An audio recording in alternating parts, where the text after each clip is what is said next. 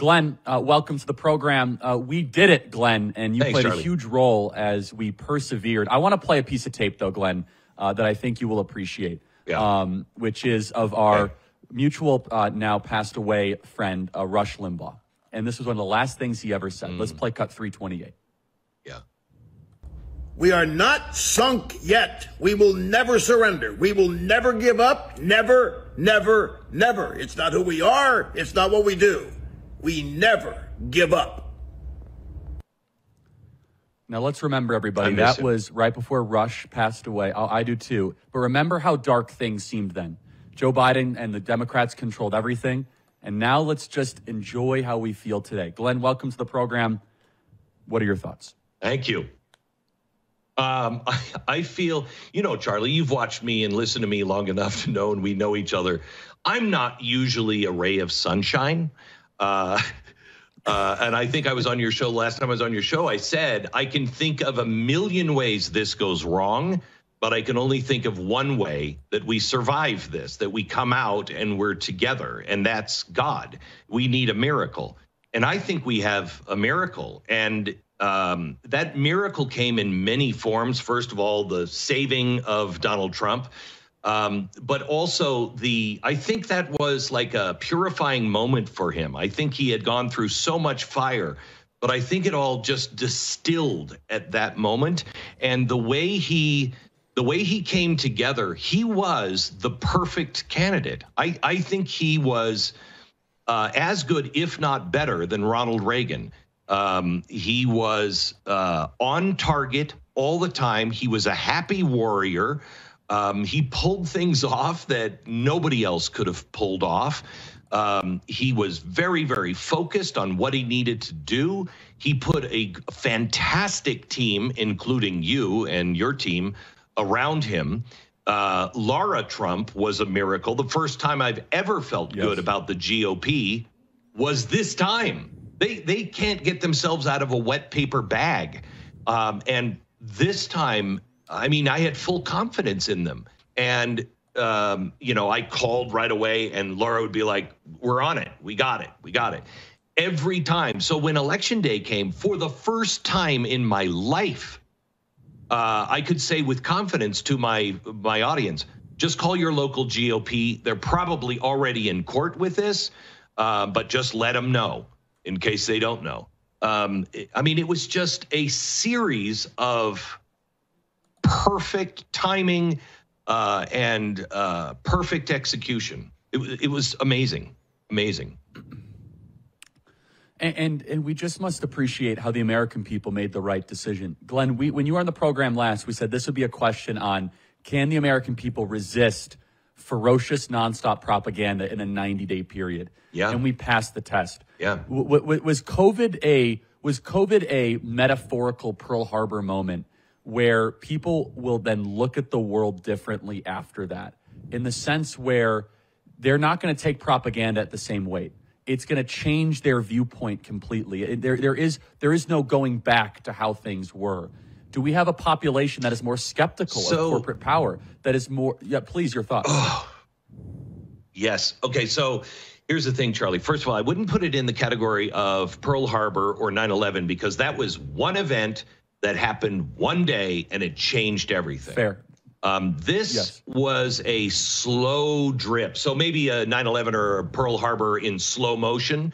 Um, it Sure. it started out slow, but it it woke enough people up, not the entire nation, but it woke enough people up that were influencers for the other side. I look at the Weinsteins and and people like that, uh, Lindsay, um, people that were were really icons on the other side um, that started to go, wait a minute, I don't, I don't think I'm with them, but I'm not with the Democrats. Th- This is lie. This is not freedom.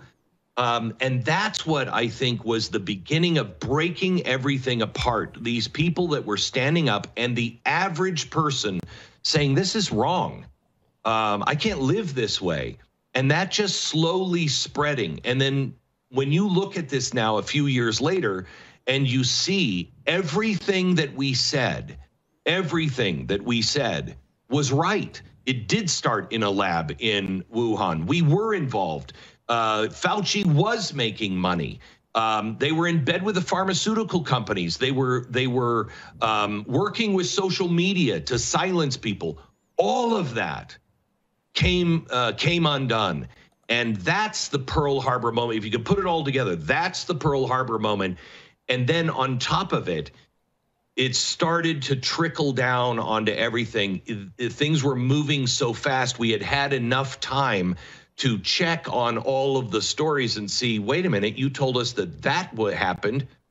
And we were conspiracy theories because we said it was the other way. And that was wrong. This is wrong. This is wrong. And people just started to realize they're lying to us all the time. Now, again, not the entire, I feel bad for the people that really truly believe that Donald Trump is a Nazi, that women are going to be, you know, their heads are going to be on a pike or whatever they're saying today. Um, I feel sorry for those people who have been so grossly misled. They're, when they wake up, they're going to be very pissed uh, at the media and the left. But the best thing that came out of this, and about a week before he was on Joe Rogan, maybe a couple of weeks, because he hadn't agreed yet. And they were saying that maybe he's going to be on Joe Rogan. And I said, please let that happen, because that will be the end of the mainstream media because he'll go on Joe Rogan and he'll get, you know, 100 million people to watch and it will affect the election because he'll perform well and every politician will say after this why would I go do a debate on ABC or CBS that gets maybe exactly. 15, 20 million people and it's all set up? It's not real. When I could go on Joe Rogan and spend three hours He'll ask me honest questions. I can be myself and let the people judge for themselves who I am. It's over. The mainstream media is over. This is this is exactly right. I want to play Joy Reid, who identifies the Joe Rogan experience element here. Let's play cut 330 did exist was a massive media ecosystem pumping into the heart of MAGA, run by the internet bros Elon Musk and Charlie Kirk of Turning Point USA, which this year handled much of the get out the vote operations for Trump's campaign. Only for Trump to close it out with celebrity podcast host Joe Rogan in what would become Rogan's most watched episodes in more than a decade. But behind the curtain is disinformation king Elon Musk who helped to elect Trump and enrich himself by using X Twitter oh my God. to um, out to do push out Twitter. his preferred candidate, frequently with misinformation. And joining I just, I, I, glad I want to let you loose on this, but just comment deeper though. Lies do not stand in long form podcasting because they get cross examined. It gets flushed right. out. When we're in the pursuit of truth, mm-hmm. that format benefits us, Glenn Beck? So it not only benefits us, it is the um, it is the only way. It's why they want to stop us from talking to each other. It's why they've encouraged us to stop talking to our family. Uh, it's why they they've done their best to silence people on the other side. It, it's so funny because you know, I was in the mainstream media and hated every second of it. Um, and they they said, you know, you just got to go online or something because you have no place here in the mainstream media. And I'm like, okay, that's fine. So I started the Blaze, did my own thing. The first guy to come out and and try to move a, a massive audience over. And when we did it and it was successful, then they realized, oh crap. And then everybody else started doing it. I mean, look at the power of the uh, podcast. It was coming anyway. Um, they and they just thought we'll we'll put all of these crazy people online because they thought they could control it at the time. But as as we're seeing in almost everything, we don't necessarily do these things because we're busy doing our life. We're not, you know, look at you who has ever on our side done a get out the vote campaign like you have done? Only the Democrats. But when they force us to do these things, we get better than they are quickly. And then they then they're like, "Oh, wait, wait, wait, that's a problem." And then they Bingo. have to shut you down. You know, that is such it's it's just point. the same old record over and over again. What they don't understand is everything is about to change, and that's not just because of Donald Trump. That's because of AI, uh, quantum uh, computing, uh, everything. The life as we know it is going to change. And if we have somebody who understands freedom and understands that people are in charge, not the elites, we have a chance of withstanding the AI that is coming. But Donald Trump, and he knows this, has got to get in and take those big corporations uh, and bring them to heel on um, doing things like Google did on the the day of the election. This um, uh, this this influencing people without knowing that they're being influenced. You know, one thing I haven't heard uh, from Donald Trump yet, and I really am anxious to ask him, um, is will you repeal the executive order that that uh, Barack Obama put in that allows our spy agencies to use propaganda on our own people and our own citizens here in America. That got no press when Barack Obama did it. It's got to stop. All right, Glenn, we got five minutes. You can do it uninterrupted. Ideas, personnel, creative things. The floor is yours. Okay, uh, just uh, just off the top of my head here, I wasn't really prepared for this. Uh, do not put Jamie Dimon in as the Treasury Secretary or the head of the Fed. Um, you know, fight the Fed, close the Fed would be even better, but fight the Fed on things.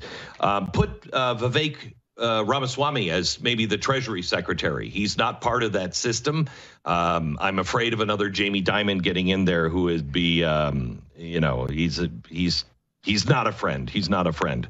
Um, we need to clean out the top level of the Pentagon. All of those generals up at the top, they're they all came through the ranks because they're political players. Put somebody like Tulsi Gabbard in charge of cleaning house there. She doesn't have to be the Secretary of Defense, although she wouldn't necessarily make a bad one, but um, somebody that um, can come at it and is not a big conservative and everything else. This one is easy. All you have to do is look for the people who want to fight to win and those who want to play politics. Anybody play politics, get them out um, Elon should be on the cuts right now. He should have a copy of the budget right now, and he should be looking at that.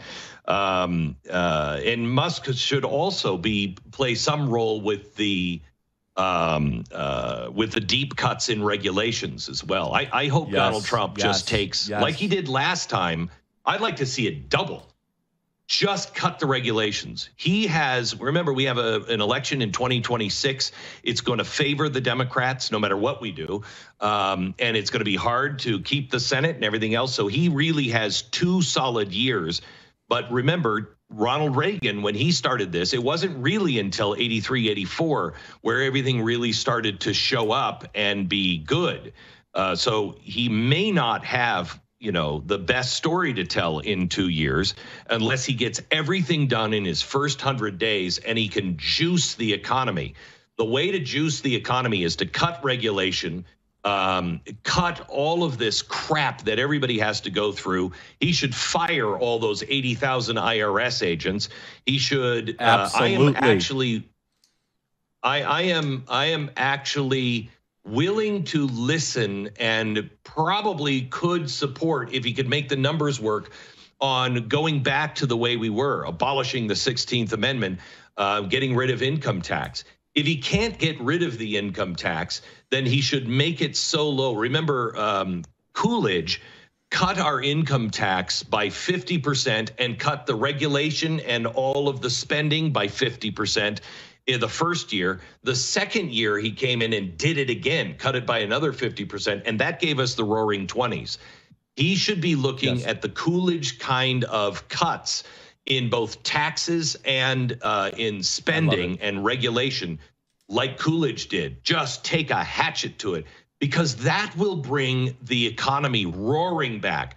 We don't need a a 25 or a 21 percent uh, income tax rate.